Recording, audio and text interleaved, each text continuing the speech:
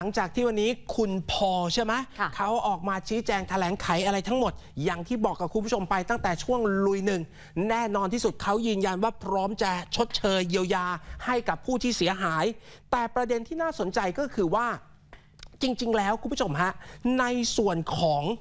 เครือข่ายของบอสพอค่ะวันเนี้ยเรายังไม่เห็นแม่ทีมที่ปรากฏตัว แม้ว่าตำรวจบอกว่ามีการดำเนินคดีเนี่ยเบ็ดเสร็จคือ 6 คนค่ะถูกไหมฮะ แล้ววันเนี้ยเรายังไม่เห็นเลย แต่ที่แน่ๆเมื่อเรายังไม่เห็นทีมงานลองขึ้นผัง ให้ดูหน่อยว่ากลุ่มคนที่ถูกดำเนินคดีขึ้นมาหน่อยก็ได้ เมื่อวานนี้ที่ทำออกมาถูกไหมฮะค่ะ อ่าเอาตัวเพจแม่ทัพเลยก็ได้ฮะ เพราะว่าในฝั่งของแม่ทัพทั้งหมดเนี่ย เอาจริงมันยังมีเขาเรียกอะไรนะ เหมือนกับกลุ่มคนเนี่ยที่เวลาลงทุนค่ะแล้วเปิดบิล คือตัวของระดับบอสบอสเนี่ยก็แน่นอนอาจจะย่อมได้ส่วนแบ่งด้วย และภาพของคุณพอวันนี้ที่เขาไม่ได้ให้สัมภาษณ์อะไรเพิ่มค่ะเติมแล้ว หลังจากออกรายการของคุณหนุ่มกัญชัยกำเนิดพลอย ตอนเดินลงตึกครับที่คุณผู้ชมเห็นเนี่ยนะฮะลองเปิดเสียงขึ้นมาอีกสักนิดหนึ่งเพราะวันนี้สีหน้าท่าทางเคร่งเครียดมากๆ ต้องย้ำตรงนี้ก่อนจะเปิดหลักฐานอะไรใหม่ทั้งหมด เราไม่ได้จะตัดสินเขาค่ะเพราะคนตัดสินพอก็คือศาล แต่ขณะเดียวกันคุณผู้ชมฮะในส่วนหน้าที่สื่อก็ต้องนำเสนอ ล่าสุดเนี่ยอย่างที่บอกเขายืนยันว่านาฬิกากับรถหรูค่ะทรัพย์สินของเขาไม่ต้องกังวล มันไม่ได้มีการเคลื่อนย้ายหรือไปไหน มันก็ยังอยู่กับที่ คุณผู้ชมครับ ผมเริ่มต้นตรงนี้ฮะเพื่อไม่ให้เสียเวลาและไม่พูดซ้ำเก่าเรื่องบอสพอแล้วเราจะไปดูอาณาจักรฮะแล้วทรัพย์สินใหม่ของบอสพอที่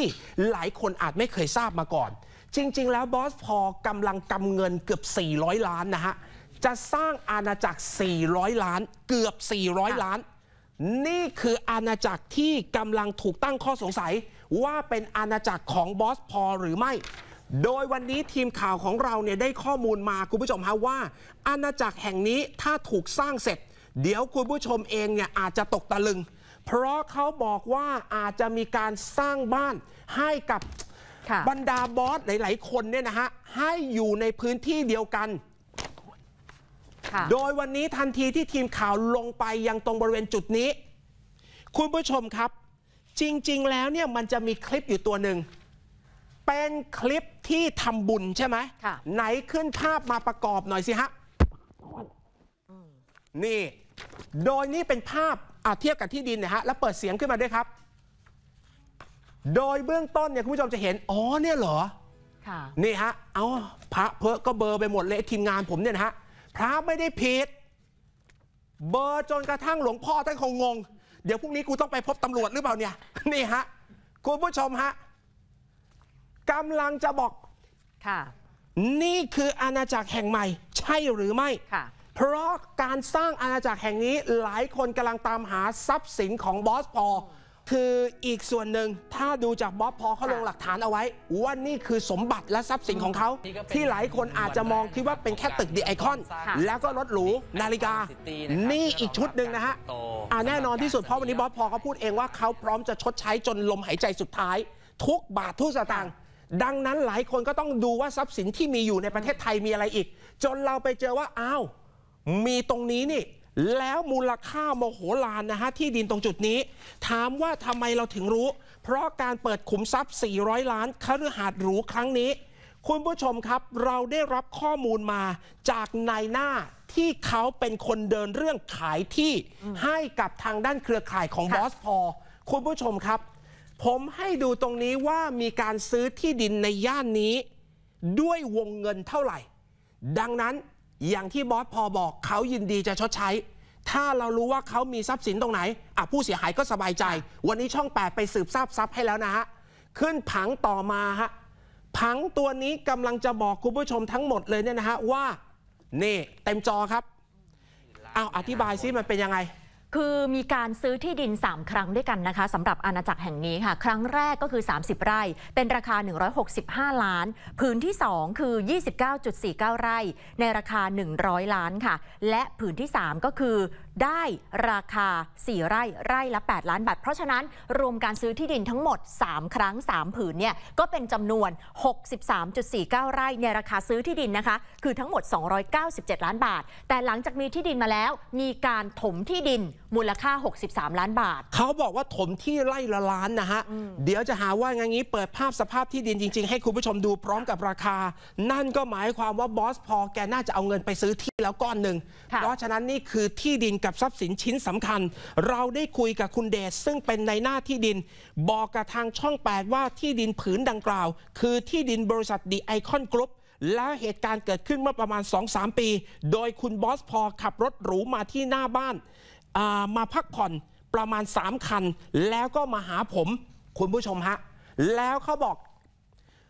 มาพร้อมกับบอดี้การ์ด6คนค่ะ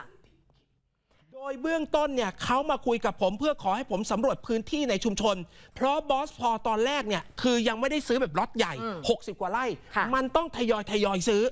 ดังนั้นบอสพอก็แจ้งความจำนงว่าเขาต้องการจะซื้อที่ ผมย้ำการซื้อที่ก็ไม่ผิดค่ะแต่ว่าเอาแน่นอนเมื่อ กลุ่มผู้เสียหายเขาอยากจะรู้ว่าบอสพอมีทรัพย์สินอะไรอีก เพราะเราเห็นนาฬิการถกับบริษัทค่ะมีก้อนนี้อีกก้อนหนึ่งฮะ เกือบ 400 ล้านฮะ แล้ววันนี้นายหน้าบอกว่าแต่ระยะหลังมันเกิดปัญหา เห็นบอกว่าคุณผู้ชมฮะ มีคนไปร้องเรียนอาณาจักรบอสพอ เนื่องจากว่าชาวบ้าน เขาบอกว่าการก่อสร้างกำแพงกับการถมดิน มันอาจจะไม่มีปัญหากับชุมชน ดังนั้นช่วงนี้หลังจากเกิดข่าวเขาบอกเหมือนชะลอไปเลย นี่ฮะอาณาจักรเกือบ 400 ล้าน โดยหลังจากผมเป็นในหน้าที่ดินให้กับบอสพอเสร็จ ก็กลายเป็นว่าบอสพอได้ให้ลูกน้อง ชวนผมด้วยค่ะมาลงทุนที่ดิไอคอนกรุ๊ปฮะเดี๋ยวก่อนนะ ขนาดนายหน้าก็ชวนลงทุนอืมค่ะ โดยเบื้องต้นเนี่ยคุณผู้ชมฮะ เห็นบอกว่าคุณเดชบอกว่าถูกชวนลงทุน 2 5 0 0 0แล้วก็อ้างว่าผมจะได้สิทธิพิเศษ เหมือน เหมือนกัน เพราะเนื่องจากว่าตัวเองเนี่ยเจอกับบอสพอค่ะขนาดเดียวกันเปิดความสำเร็จให้ดูด้วย เพราะลูกน้องมาตามทีหลัง เปิดความสำเร็จให้ดูว่าบอสพอเนี่ยเขาสร้างชื่อเสียงยังไง ปรากฏว่าเกือบจะลง 2 5 0 0 0เมียสั่งบอกอย่าไปยุ่งนะ ขายที่ดินอย่างเดียวพอใช่ไหมอ่าใช่เป็นในหน้าพอไม่ต้องทะลึ่งไปลงทุน โชคดีเหลือเกิน ไม่อย่างนั้นค่าในหน้ากับการลงทุน ป่านนี้หมดแล้วฮะเขาสงสัยว่าน่าจะหมดนะเขาไม่ได้แบบปักปั๊มคุณบอสพอนะ เพราะฉะนั้นอยากจะบอกกับบอสพอว่า เอาจริงบอสรู้หรือเปล่าว่าวันนี้บอสรวมที่ได้เกือบ 400 ล้าน ชาวบ้านเขาขอให้บอสพอช่วยมาดูความเดือดร้อนด้วย เดี๋ยวจะบอกว่าเดือดร้อนยังไง ฟังเสียงในหน้าก่อนฮะเราจะซื้อไร่ละห้าล้านห้าสามล้านอะไรผมรู้ประมาณ 64ไร่ครับเห็นสิครับเขามันยังนั่งที่ผมเนี่ยบอสน่ะนะ บอสพออืมนั่งที่บ้านผมเนี่ยนั่งตรงนี้คนคนดูแลก็เต็มไปหมดเลยครับ มารถสวยๆอะไรนะตอนนั้นมีหกคนครับเขาก็พูดนิ่มๆมานะพูดตามภาษาคนพูดดีอะเขาก็พูดดีเขาบอกไหมว่าเขาจะสร้างอาณาจักรอะไรยังไง การบ้านเป็นแบบโดมอะนะแล้วก็บ้านจะสร้างประมาณ 18 หลังก็ว่าอย่างนั้นนะแล้วก็จะสร้างที่สอนอะไรแบบที่เขาเรียนกันนะพอฝนตกน้ำมันไหลเข้านะผมก็บอกเขาบอกพ่อเขานะให้วางท่อเขาบอกเดี๋ยวจะมาทำก็ต้องหลัดจนนะฝนหยุดตกแล้วมันก็ยังไม่ได้ทำอยู่เนี่ยพูดกันตรงๆนะไม่อยากให้อยู่แล้วนะและกำแพงน่ะไม่แข็งแรงเลยนะสามหนนะที่พังเนี่ยกำแพงเนี่ยผู้ชมครับและที่ในหน้ากำลังบอกกับกับน้องแนนสกิตี บอกว่าจริง ๆ แล้วเนี่ยกำแพงเนี่ยพังสามหนแล้วค่ะมันมีคลิปให้ดูฮะ เป็นคลิปอาณาจักรของบอสพอสร้างกำแพง โดยผู้เสียหายเนี่ยจากบ้านหลังหนึ่งเนี่ยนะฮะบอกว่ากำแพงได้พังลงมาแล้วก็ทับหลังคาบ้าน โดยตัวเองต้องซ่อมโดยใช้เงินส่วนตัว มันจะมีคลิปกำแพงล้มใช่ไหมใช่อุ้ยตอนล้มนี่กำแพงไหนมีล้มด้วยเหรอค่ะคือเหมือนสักพักหนึ่งกำแพงอุ้เนี่ยล้มยลงไปแบบตายแล้ว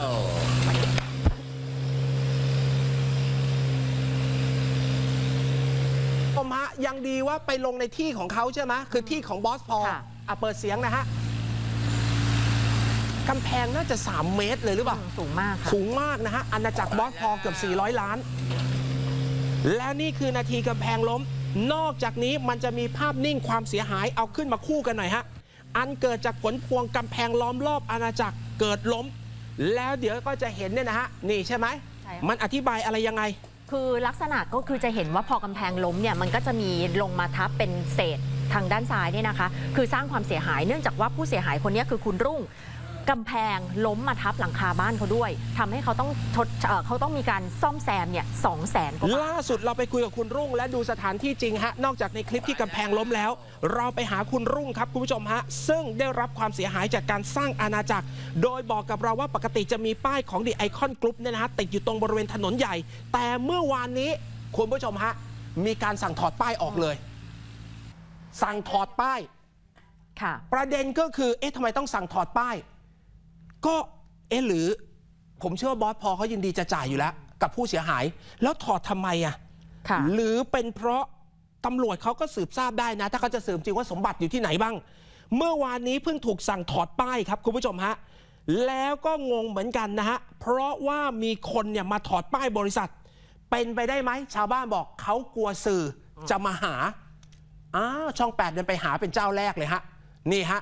ป้ายเพิ่งถูกสั่งถอดเมื่อวานสดๆร้อนๆ ตัวเองก็จำไม่ได้หรอกว่าเขาถมที่เมื่อไหร่อะไรยังไงนะฮะ แต่ก็ยอมรับว่าก็ยังเห็นรถเข้ามาถมที่ โดยทางบริษัทได้ถมที่เสร็จแล้วก็สร้างกำแพงล้อมรอบอาณาจักร จนแล้วเสร็จบริเวณ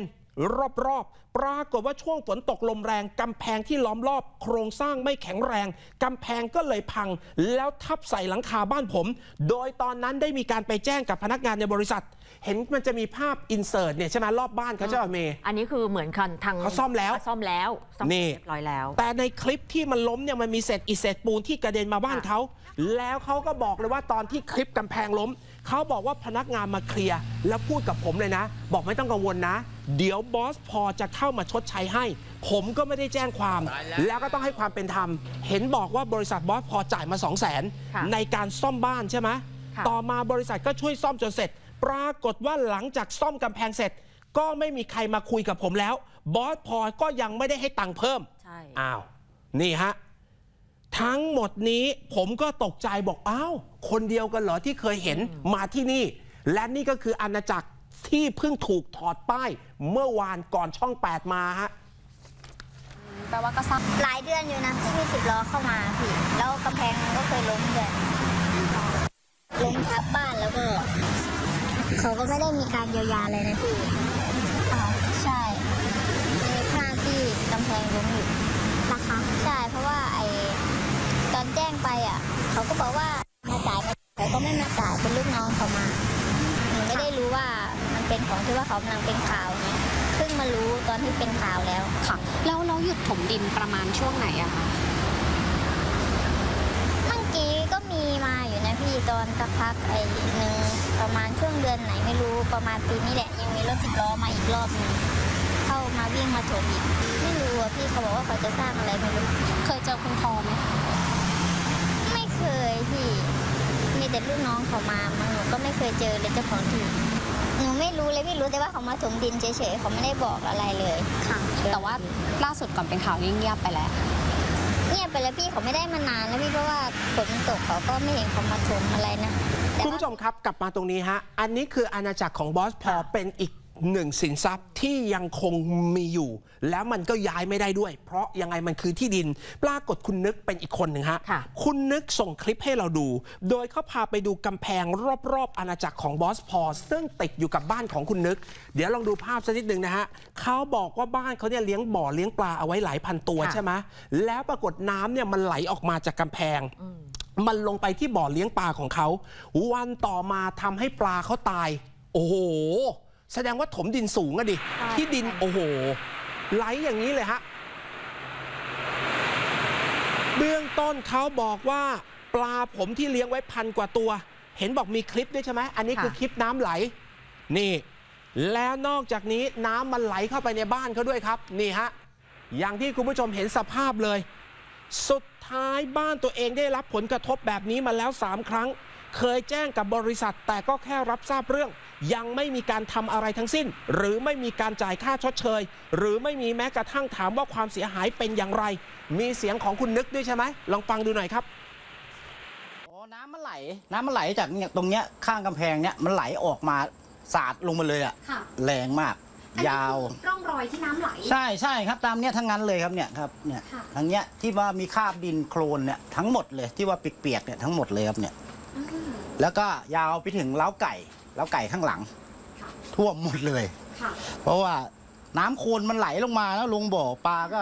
ตายเยอะด้วยบอกปลาตรงที่บ่อปลาตรงนี้เลยครับ ครับผมนี่เลยครับครับปลา มันเป็นปลาที่ว่าผมปล่อยไว้มันเป็นปลาราคาด้วยครับเนี่ยเหรอ ครับผม มันเป็น มันเป็นปลาคังครับ ปลาคังปลาบึกค่ะตายหลายพันครับ ตอนนั้นน่ะตายประมาณกี่ตัวพี่ โอ้หน้าเป็นพันครับ